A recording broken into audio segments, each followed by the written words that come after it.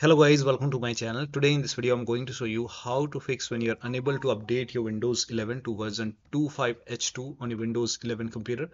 Because of this error, we couldn't install this update. Error code is 0x800-70476. So please follow the steps shown in this video. Now the first step is to retry. So when you see the retry option, you hit retry and then check. If that does not work, restart your computer once and after the system restart you can check. Still not working.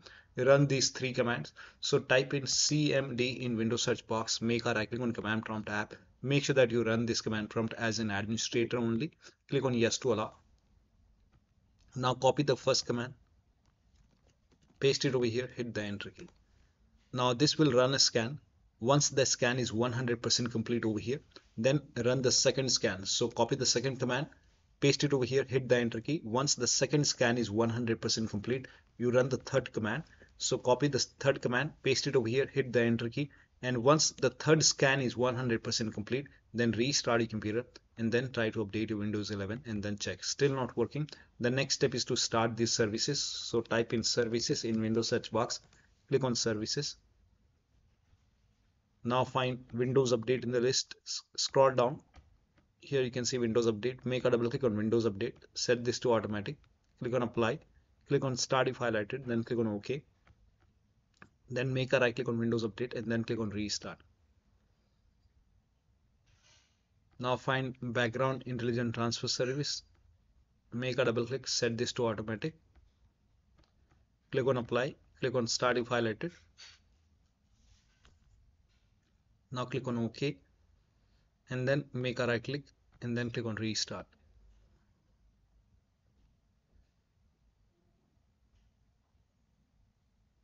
Now find app readiness. At the top here you can see app readiness. Make a double click. Set this to automatic.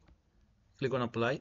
Click on start if highlighted and then click on ok. Make a right click once again and then click on restart.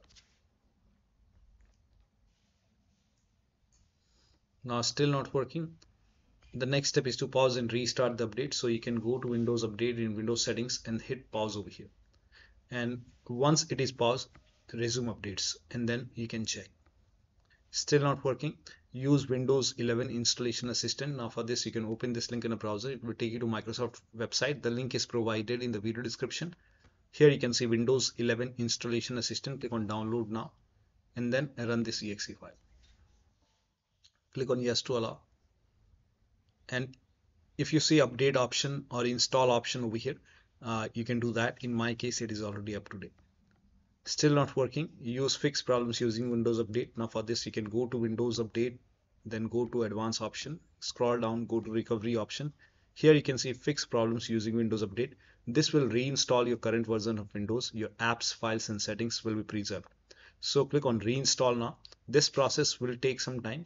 And once this is done restart your computer and after the system restart when you go to update windows update update history you will see repair version of version 25h2 you will see this. Once this is done you can try to install the update once again and then check. Still not working use media creation tool. Now for this you can open this link in a browser. Here you can see media creation tool. It will take you to Microsoft website. The link is provided in the video description. Click on media creation tool uh, download option and then run this exe file. Run this exe file and then click on accept over here. Then by default windows 11 will be selected. Click on next. Select iso file over here and then click on next. You can save it to desktop save.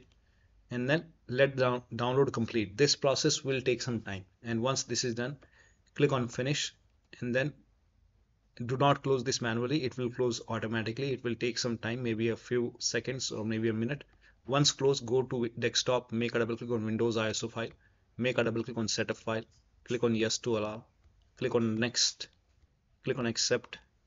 But here you can see ready to install. By default, the option to keep personal files and app would be checked.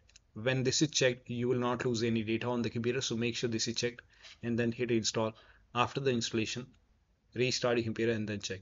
So one of the steps shown in this video should help you to update your Windows 11 to version 25H2 so that'll be all. Thank you so much for your time and please like this video and subscribe to my channel